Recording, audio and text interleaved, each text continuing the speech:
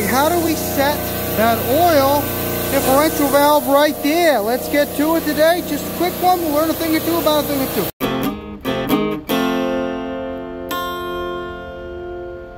First up, what we're going to do is look up your model's and serial number of your um, of your rack system, and uh, we're going to go from there.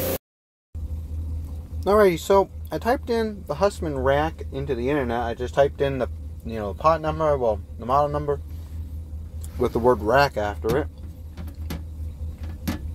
Came up with this PDF here. Okay, so what we're going to do is I'm just going to look down here. And we're going to see right there is if we look down on refrigeration, see right here oiling system. Okay? 3.5 right there. So we're going to go 3.5, take a look. Alright, so here we are, 3.5 right there. And uh, we got our oiling system here. So as you can see, we're just going to, if you breeze through that right there, you can see our oil pressure differentiating valve. This valve reduces the oil pressure to 20 25 psi above the crankcase pressure. Okay? So that's good to know. And then if we go down here, it actually has the steps on how to adjust our oil differential valve. Close all the float and service valves. This is done by turning the valve clockwise until it bottoms out. Connect the low pressure gauge to the suction header. Connect the low side hose of the gauge manifold to the Schrader connection at the end of the oil supply line. And you'll see all that. Connect the center hose to the gauge manifold to the suction header. Open the hand wheel on the gauge of the manifold for a few seconds and close it off again. Subtract the suction header pressure from the oil pressure. From the and adjust if necessary and remove all gauges from the systems open up the float and service valve. So I'll show you that right now. So now you can see my gauges are hooked up right now. So we actually have one side of the gauges hooked up to the suction and we have the other side hooked up all the way down here to the end of that oil system right there. Okay? So what's going on here is we're going to come over here and we see that the refrigerant, well the oil comes out of this system, comes up through there, through this filter, right, comes up to this valve. Now this valve, so at this point, the oil is discharge pressure. So if this is 200 PSI, this is 200 PSI. What happens is you have this pilot line that goes in your suction header over there. This valve bleeds off the extra pressure and releases a low pressure oil on the other side, which then goes into the compressors right there. All right? So, we can see that right now, based on this suction group over here, this is reading Now the suction group is varying, but it seems to be reading around 15, 13 above the suction group. I'm to have to turn this valve up. Alright, so just like the directions said right over here, you can see that all of these are closed right there. So every single oil float is closed off on the rack. We have our line hooked up to the end of this. Alright, which is hooked up all the way to the discharge, no, suction side of our gauges just so we can see. And then we can see the other side is hooked up to the rack pressure right here. Okay? And so now what we're supposed to have is we're supposed to have about 20 to 25 psi above the rack pressure. And if we look at right here, this is 56 and we're at 70. So it's about 10 right now. So that doesn't seem to be appropriate for what we need. We need closer to 20. I mean, I guess that's 13 now.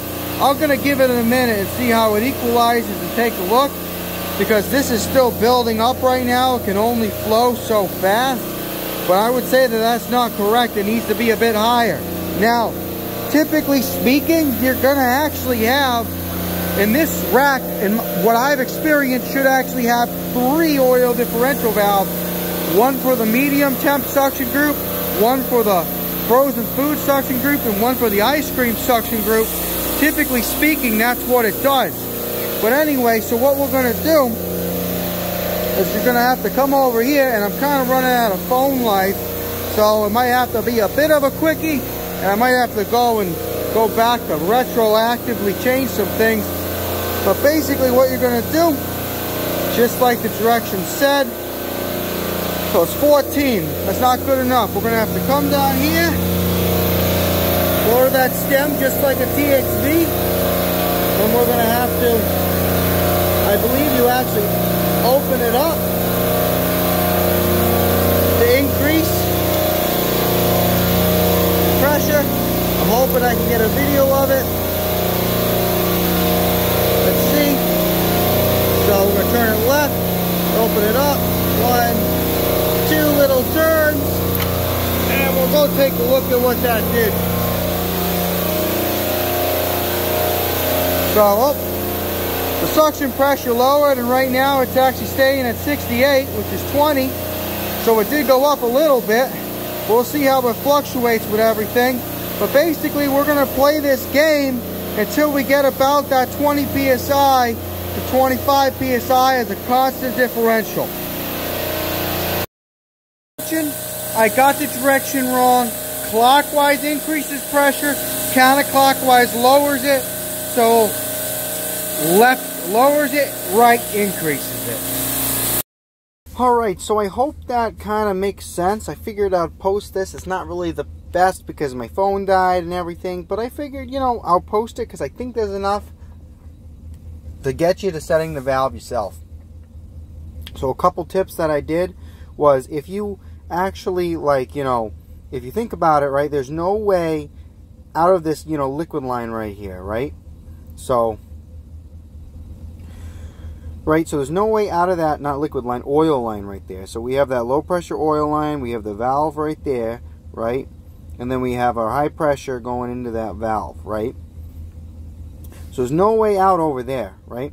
So what you have to do, oh, I deleted it. Oh well, what you have to do periodically is you actually have to open up your gauges. So what you need to do is, um, you know, your suction header will float Okay, so it's going to go up and down, let's say between 40 and 60. Okay, when it reaches 60, your oil pressure is going to be 80. And then when it goes down to 40, your oil pressure is still going to be 80. Okay, it's not going to magically just make that go away. So what you need to do is you actually need to open up your gauges and you'll and you'll see earlier where I'm connected to the oil line and then I'm connected to the suction header. You need to open that and flow that pressure into the suction header and then close your gauges again and then you can look and see okay well now it's at 40 and that oil pressure shoots up to 58 59 and then as everything you know as the compressor shut off and now the oil is starting to raise back up to 60 you're going to see okay now the pressure peaks at 78 or 80 or whatever and you're going to be able to do that. But you can't you have to almost use that opening up the pressure and letting it flow into the suction header as a way to reset it. So every time you know you, you adjust it a little bit you open it up you watch how it tracks with the suction pressure okay?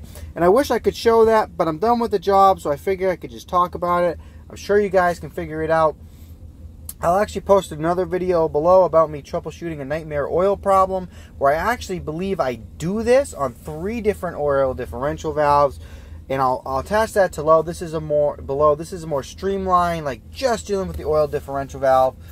Anyway, uh, I hope you learned a thing or two about a thing or two, and that's how you do it. I hope you have a good one.